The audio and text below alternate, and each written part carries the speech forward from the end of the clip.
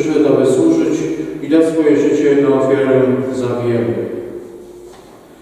Tutaj przy świętej miłosierdziu Bożemu polecamy świętej pamięci Józefem, Franciszka i Henryka, a także prośmy o siłę do tego, by Bóg nam pomógł pokonać pandemię korony wirusa. miłosierdzia, byśmy doświadczyli pełnej miłości, spotkanie z Nim podczas tej mszy świętej. Spowiadam się Bogu Wszechmogącemu i Wam, bracie i siostry, o modlitwę za mnie do Pana Boga naszego. Niech się zmiłuje na Najmniej Wszechmogący, odpuściwszy nam grzechy, doprowadzi nas do życia wiecznego.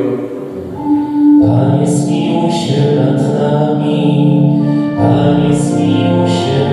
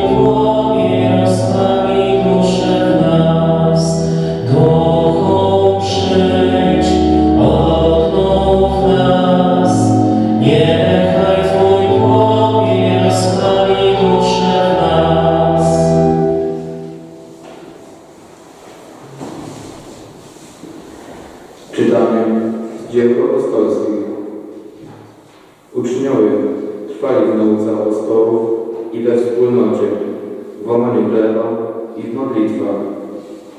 Bojaźń ogarniała każdego, gdyż apostołowie czynili wiele znaków i cudów. Ci wszyscy, którzy uwierzyli, przebywali razem i wszystko mieli wspólne. Sprzedawali majątki i dobro i rozdzielali je każdemu według potrzeby. Codziennie trwali jednomyślnie w świątyni Alan zlekł po domach, spożywali posiłek radości i prostocie serca. Wielbili Boga, a cały lud odnosił się do nich życzliwie. Pan zaś przymnażał im codziennie tych, którzy dostępowali zbawienia. Oto Słowo Boże. Dokąd niech będą dzięki.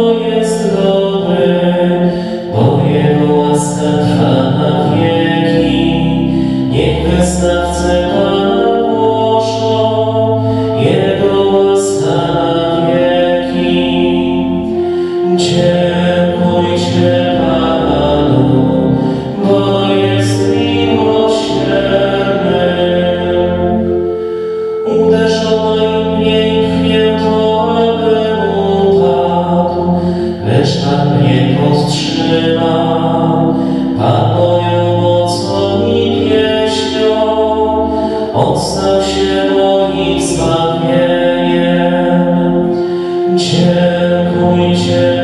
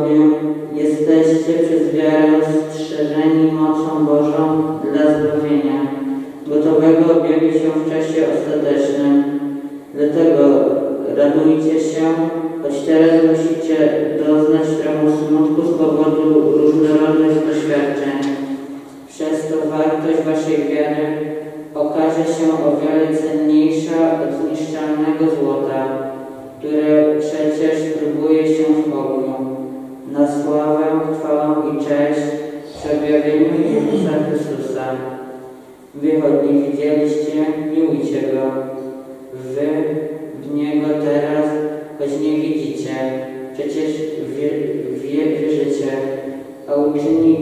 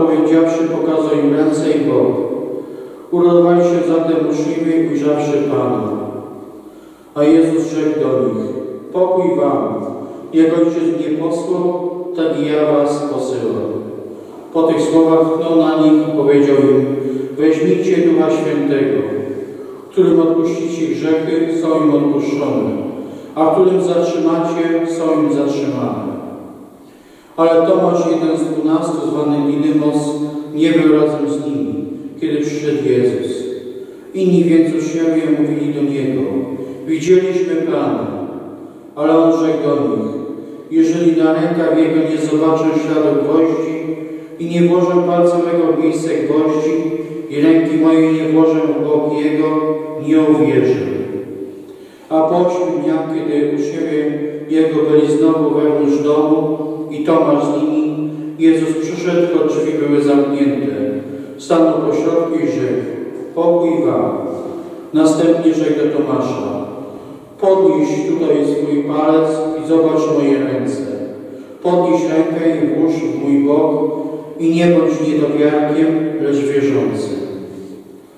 Tomasz w odpowiedzi rzekł do niego, Pan mój i Bóg mój. Powiedział mu Jezus, uwierzyłeś dlatego, że mnie ujrzałeś. Błogosławieni, którzy nie widzieli, a uwierzyli. I wiele innych znaków, których nie zapisano w tej księdze, uczynił Jezus wobec uczniów. To zaś zapisano, abyście wierzyli, że Jezus jest Mesjaszem, Synem Bożym i abyście wierząc mieli życie w imię Jego. Oto słowo Pańskie.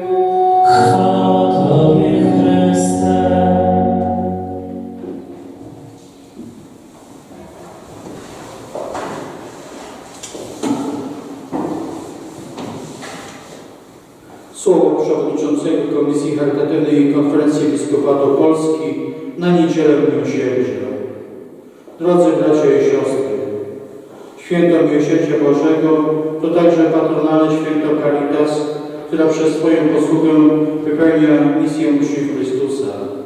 W tej misji uczestniczą wszyscy, którzy na różne sposoby wspierają ubogich, a także ci, którzy naśladują postawę dobrego Samarytanina by ratować swoich bliźnich, których zdrowie i życie są zagrożone. To święto ustanowione przez świętego Jana Pawła II zwyczajowo rozpoczyna tydzień miłosierdzia.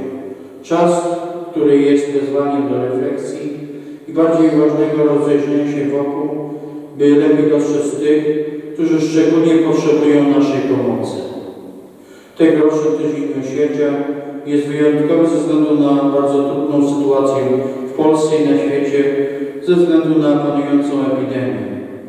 Sługa Boży kardynał Stefan Wyszyński, na którego beatyfikację w tym roku oczekujemy, w jednym ze swoich listów pasterskich na tydzień miłosierdzia powiedział Miłosierdziem budujemy Kościół Boży.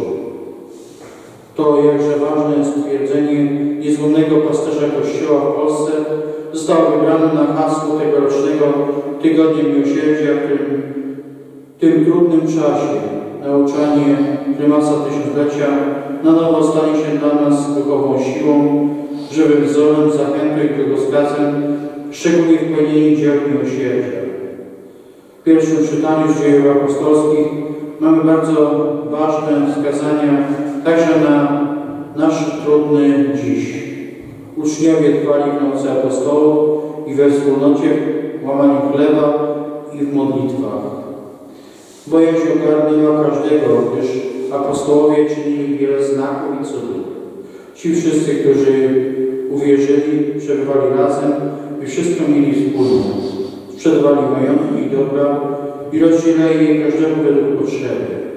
W tej pieśni na cześć idealnego ludu Bożego w Jerozolimie uchylona została myśl, że Kościół powinien oznaczać się nie tylko wspólnotą ducha, lecz także wspólnotą dóbr materialnych. Oznacza to troską o sprawiedliwy do nich dostęp, a w korzystaniu z nich trzeba pamiętać o miłosierdziu, czyli o dzieleniu się z tymi, którzy odczuwają niedostatek. Ważne jest też bycie razem, by jak mówi święty Paweł, jedni drugiego brzemiana nosić. Te wezwania, które na co dzień podejmuje Caritas teraz w tym ciężkim czasie epidemii, wybrzmiewają w szczególny sposób. Aby zaradzić nowym potrzebom, Caritas koncentruje swoją działalność wokół konkretnych priorytetów. Są nimi wsparcie seniorów poprzez akcję Pomoc dla Seniora oraz podjęcie akcji Wdzięczni Medykom, której celem jest wspieranie służby zdrowia, lekarzy, pielęgniarek i ratowników medycznych. Ale to także codzienna pomoc ubogim, bezdomnym, chorym, starszym i niepełnosprawnym, migrantom i uchodźcom oraz wszystkim poszkodowanym. Caritas pomaga dziś bardzo skutecznie zakupie tak potrzebnych respiratorów, środków ochronnych, maseczek oraz innych rzeczy koniecznych w tym czasie. Uaktywnia się też wielu wspaniałych ludzi, którzy z ogromnym zaangażowaniem i poświęceniem włączają się w dzieło i akcje prowadzone przez Caritas. Sprawdzają się tu słowa prymasa Wyszyńskiego. Wszystko, co nas spotyka, zdrowie czy cierpienie, dobro czy zło, chleb czy głód, przyjaźń ludzka czy niechęć, dobrobyt czy niedostatek, wszystko to w ręku Boga może działać ku dobremu. Ta ogromna, trudna sytuacja epidemii wyzwala wiele dobra wśród ludzi. To solidarna troska o tych najbardziej zagrożonych. Naszych czcigodnych seniorów odpowiedzialni odwiedzają ich liczne rzesze wolontariuszy, dotychczas nieznani im sąsiedzi, ludzie dobrej woli, którzy wspierają ich, przynosząc potrzebną żywność i lekarstwa. Akcja Caritas Polska Pomoc dla Seniora bardzo szybko rozwinęła się i przez Caritas diecezjalne niesie wsparcie w całym kraju. Pomoc seniorom to także karty zakupowe, które kilkanaście tysięcy osób starszych, będących w trudniejszej sytuacji życiowej, otrzymują na codzienne zakupy. Poprzez Caritas Polska już ponad 15 milionów złotych rocznie trafia do tych najbardziej potrzebujących. Wielkie owoce przynosi też akcja Wdzięczni Medykom. Dzięki niej kupione są tak bardzo potrzebne respiratory, odzież ochronna oraz inne potrzebne urządzenia i środki dla naszych szpitali. To wielkie wsparcie dla tych, którzy na co dzień są na pierwszej linii leczenia i ratowania życia i zdrowia naszych rodaków. Skala pomocy, której udzielają Caritas Polska i Caritas Diecezjalne w Polsce jest nieporównywalna z żadną inną trudną sytuacją w historii naszego kraju. Jak stwierdza ksiądz Marcin Giżycki, dyrektor Caritas Polska. Wszystkim dziełom pomocy podejmowanych przez Caritas towarzyszy wzmożona modlitwa płynąca z naszych domów, świątyń i klasztorów. Ta modlitwa, która też należy do uczynków miłosierdzia, jest niezwykle ważna w tym czasie próby. Wielką duchą napełnia fakt, że także inne prowadzone dotąd dzieła Caritas nadal dynamicznie się rozwijają, znajdując hojnych ofiarodawców. Prymas tysiąclecia Stefan kardynał Wyszyński, który zapoczątkował peregrynację ikony jasnogórskiej w trudnych czasach komunizmu, ufając bezgranicznie zwycięstwo Boga przez Maryję, Tak mówił. Zawsze, gdy jest szczególnie ciężko, gdy ciemności ogarniają ziemię, a słońce już gaśnie, gwiazdy nie dają światłości, trzeba wszystko oddać Maryi. Dlatego my, Polacy, jako naród Marii, która jest naszą Matką i Królową, zjednoczmy nasze serca w tym dziele niesienia miłosierdzia naszym bliźnim. Słuchajmy Jezusa Zmartwychwstałego, który w dzisiejszej Ewangelii mówi także do nas. Pokój Wam. Zaufajmy Jezusowi, który przychodzi do nas mimo drzwi zamkniętych, przychodzi do naszych domów, mieszkań, przychodzi do naszych szpitali, domów opieki, by ukoić niepokój i dać nam nową nadzieję. Niech to błogosławieństwo pokoju umacnia nas w trudnym czasie. Niech będzie źródłem siły dla wszystkich, którzy narażają swoje zdrowie i życie, ratują zdrowie innych i życie innych. Niech będzie znakiem wdzięczności za każdy gest miłosierdzia i niech rozpala w nas Jego płomień. A Maryja, Matka Miłosierdzia i Pocieszycielka strapionych, niech wyprasza nam zwycięstwo. Podpisał biskup Wiesław Szlachetka, przewodniczący Komisji Ratownej Konferencji Episkopatu Polski.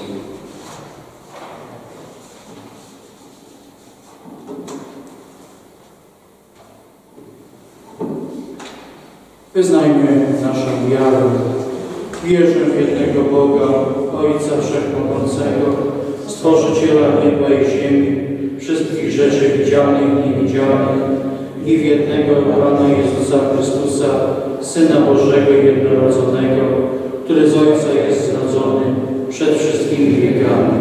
Bóg z Boga, światło ze światłości, Bóg prawdziwy z Boga prawdziwego, zrodzony, niestworzony, współistotny Ojcu, a przez Niego wszystko się stało. On to dla nas ludzi i dla naszego zbawienia wstąpił z nieba i za sprawą Ducha Świętego przyjął ciało z Maryi Dziewicy i stał się człowiekiem. Ukrzyżowany również za nas pod Poncjuszem Piłatem, został męczony i pogrzebany i zmartwychwstał trzeciego dnia, jak rozdaje napismo. I wstąpił do nieba, siedzi po prawicy Ojca i powtórnie przyjdzie chwale, sądzi żywych i a królestwo Jego nie będzie końca. Wierzę w Ducha Świętego, Pana i Żywiciela, który od Ojca i Syna pochodzi, który z Ojcem i Synem złowie otwierał wielbienie i Pana, który mówił przez proroków. Wierzę w jeden święty, powszechny apostolski Kościół. Wyznaję jeden chrzest na odpuszczenie grzechów i oczekuję wskrzeszenia umarłych i życia wiecznego w przyszłym świecie. Amen. Bóg jest Ojcem doskonale wsłuchany w potrzeby swoich dzieci. Z wielką ufnością wołajmy do Niego w naszych potrzebach. Miłosierny Ojcze, umocnij darami Ducha Świętego papieża, biskupów, prezbiterów i diakonów, aby przy wsparciu całego ludu chrześcijańskiego głosili dzieło odkupienia wykonane przez Twojego Syna. Ciebie prosimy. Wysłuchaj nas, Panie.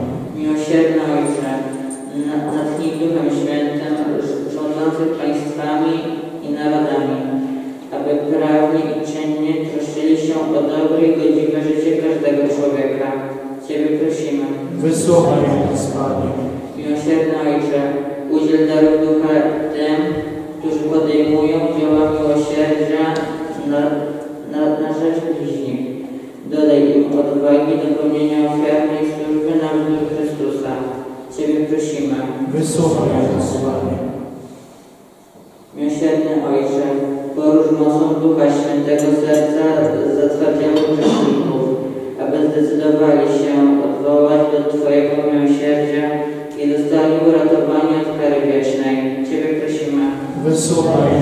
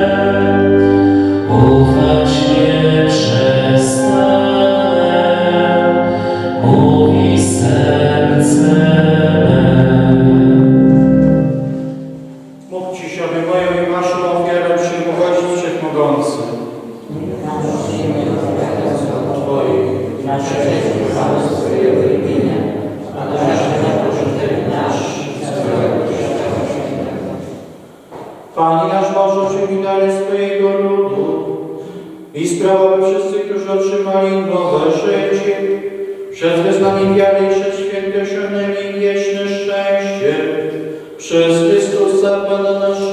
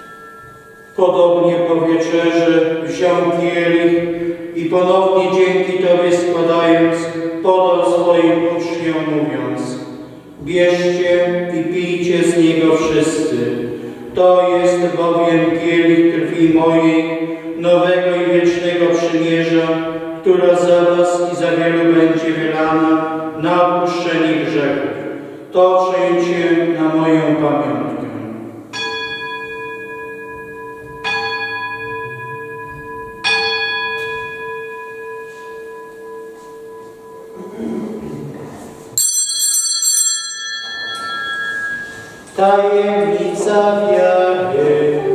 Chrystus umarł, Chrystus zmartwychwstał, Chrystus powrócił. Wspominając śmierć i zmartwychwstanie Twojego Syna, ofiarujemy Tobie Boże chleb życia i kielich zbawienia i dziękujemy, że nas wybrałeś, abyśmy stali przed Tobą i Tobie służyli. Pokornie błagamy, aby Duch Święty przyjmujących ciało i krew Chrystusa. Pamiętaj Boże o Twoim Kościele na całej ziemi.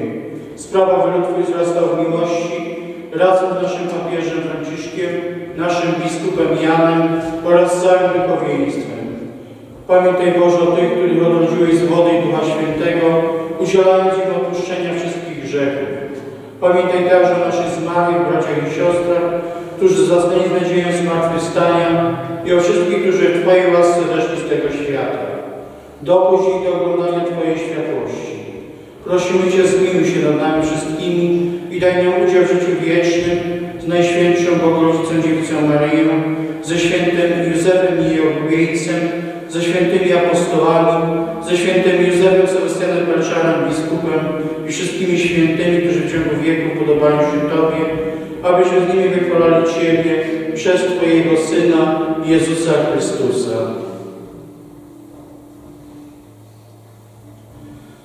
Przez Chrystusa, z Chrystusem i w Chrystusie, Tobie Boże Ojcze jedności Ducha Świętego, wszelka cześć i chwała przez wszystkie wieki wieków.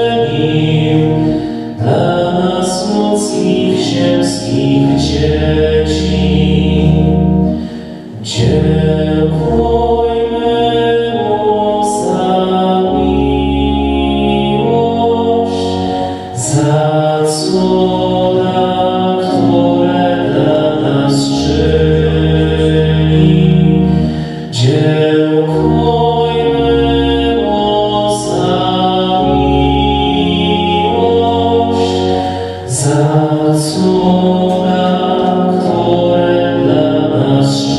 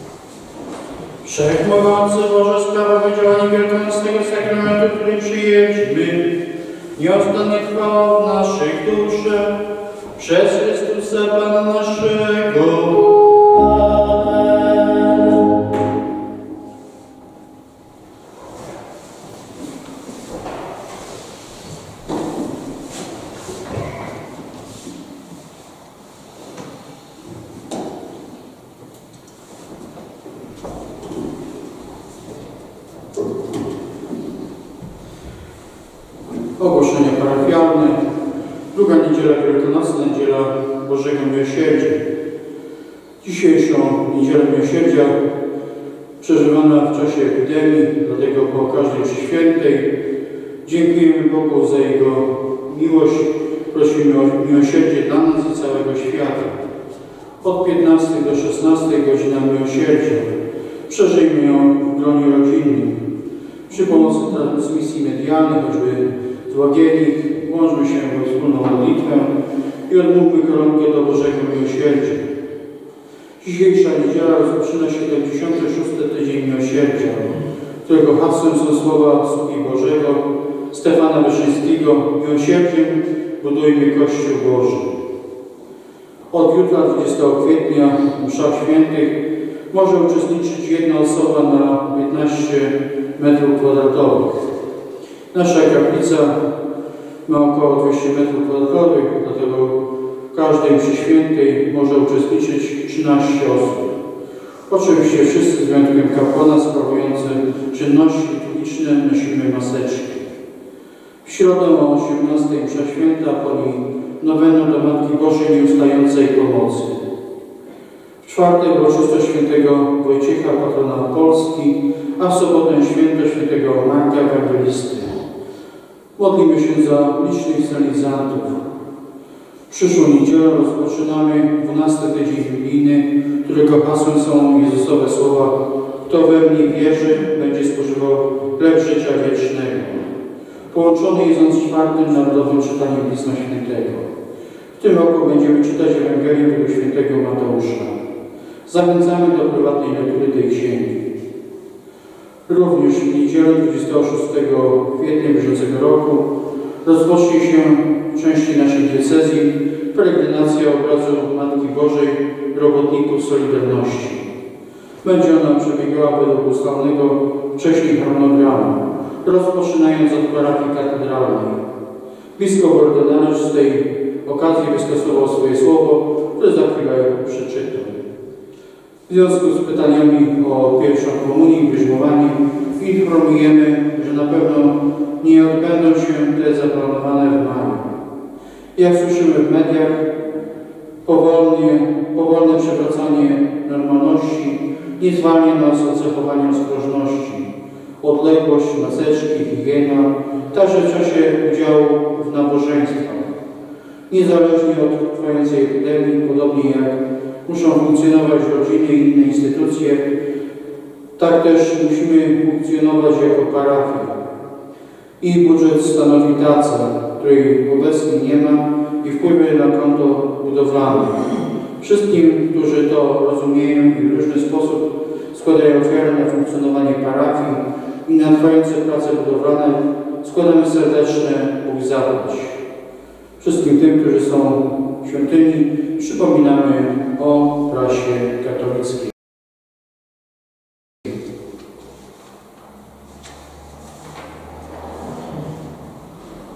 Umiłowani diecezjanie. W dniu 26 kwietnia 2020 roku w naszej katedrze pod wezwaniem Najświętszego Serca Pana Jezusa powitamy z radością i czcią obraz Matki Bożej robotników Solidarności. Tego dnia nastąpi inauguracja jego peregrinacji drogami naszej diecezji, zgodnie z ustalonym kalendarzem i programem. Nadszedł ten oczekiwany czas nawiedzin, który wierzę w to głęboko, będzie czasem radości parafialnych wspólnot, wiary w naszej diecezji, do której przebywa w swoim razie Matka Czarnego Słowa, Maria Miłosięta. To nam towarzyszy od wieków na wszystkich drogach naszego narodu. Pod jej obroną uciekają się skutecznie kolejne polskie pokolenia. Obraz Matki Bożej Robotników Solidarności, przypominający o mocnych więzach, jakie łączą ludzi polskiej pracy z Chrystusem, Jego Matką i Kościołem, rozpoczyna swą wędrówkę w trudnym czasie pandemii, która przyniosła zagrożenie zdrowia i życia, zburzyła ład codzienności wiele rodzin wzbudziła niepokój o chleb powszedni. Doświadczamy różnych restrykcji, pochodnych pandemii, także dotyczących kultu Bożego i posługi Kościoła. Ufam, że współpraca i zaangażowanie, solidarność i odpowiedzialność kapłanów i wiernych na poszczególnych stacjach peregrinacji stanowić będzie skuteczną rękojmiem jego godnego przebiegu i przyniesie oczekiwane owoce. W dniach peregrinacji będziemy doświadczać obecności Matki Pana, otwierać dla Niego swe serca. Módlmy się, aby Maryja stała się kotwicą naszej nadziei, naszym oparciem pewnym i skutecznym. Świadomi jej duchowego macierzyństwa, prośmy ją, orędowniczkę i współżycielkę, aby nas wybawiła od wszelkich złych przygód. Niech nam wyprosi swego Syna łaskę wygaśnięcia epidemii, powrót do normalnego życia oraz upragniony pokój serca. Niech nas umacnia wierze i prowadzi Chrystusowymi drogami. O Maryjo, bądź nam pozdrowiona, bądź zawsze Matką nam. Na czas przygotowań duchowego przeżycia serca błogosławię biskup Jan Wątroba, biskup Rzeszowski. A teraz nastąpi krótkie nabożeństwo do miłosierdzia Bożego.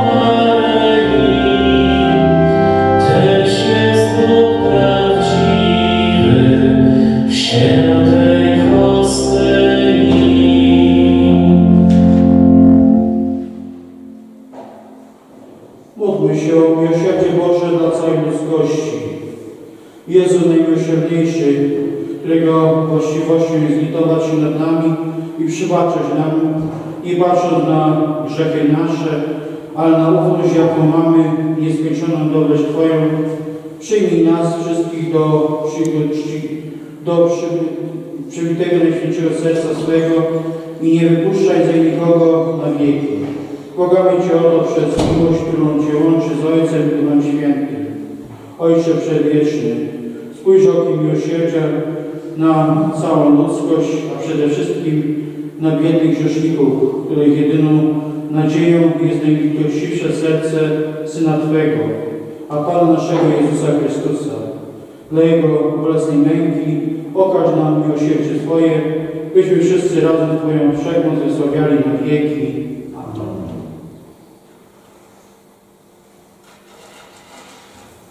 Ojcze nasz, któryś jest w niebie, święć się imię Twoje, przyjdź królestwo Twoje, bądź wola Twoja, jako w niebie, tak i na ziemi.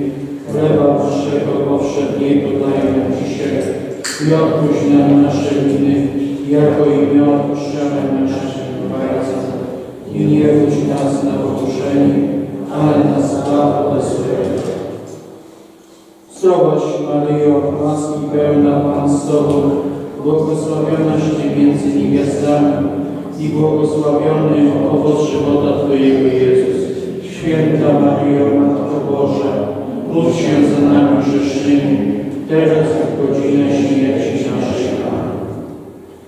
Wierzę w Boga Ojca Wszechmogącego, Stworzyciela nieba i ziemi i w Jezusa Chrystusa, Syna Jego jedynego, Pana naszego, który się począł z Ducha Świętego, narodził się z Maryi Panny, umęczon pod Pąskim Piłatem, krzyżował umarł grzechy, wstąpił do piekieł, trzeciego dnia zmartwychwstał, wstąpił na niebiosa, siedzi po prawicy Boga Ojca Wszechmogącego, stamtąd przyjdzie sądzić żywych i umarłych. Wierzę w Ducha Świętego, święty Kościół wszechny, świętego obcowania, grzechów odpuszczenie, ciała zmartwychwstanie, żywot wieczny. Ojcze Przedwieczny, ofiaruję Ci ciało i krew i bóstwo najwyższego Syna Twojego, a Pana naszego Jezusa Chrystusa, na przebłaganie za grzechy nasze za. Dla Jego bolesnej męki, dla Jego bolesnej męki, dla Jego bolesnej męki, dla Jego bolesnej męki, dla Jego bolesnej męki, dla Jego bolesnej męki, dla Jego bolesnej męki, dla Jego bolesnej męki, dla Jego bolesnej męki, dla Jego bolesnej męki, Ojcze Przedwieczny, ofiaruję Ci ciało i krew, duszę i bóstwo najmilszego Syna Twojego, Pana naszego Jezusa Chrystusa, nasze błaganie za grzechy nasze i za świata. Dla Jego bolesnej męki, dla Jego bolesnej męki, dla Jego bolesnej męki, dla Jego bolesnej męki, dla Jego bolesnej męki, dla Jego bolesnej męki,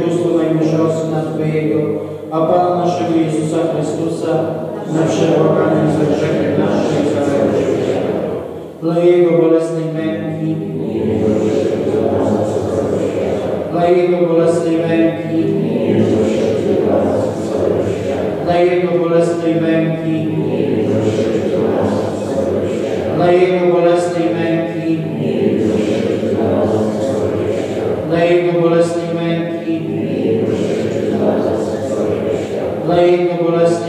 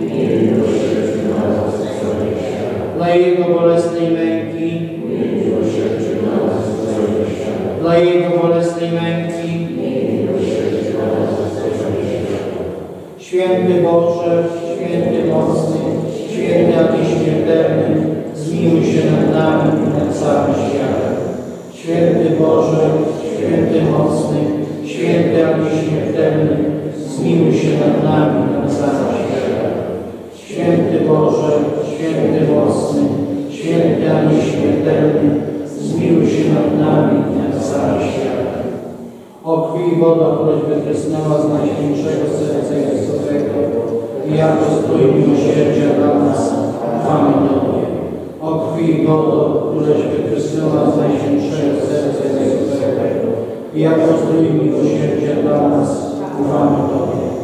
O krwi i wodo, któreś wykreślona z najświętszego serca Jezusowego, zdrój miłosierdzia dla nas ufamy Tobie. Jezu, ufam Tobie. Jezu, ufam Tobie. Jezu,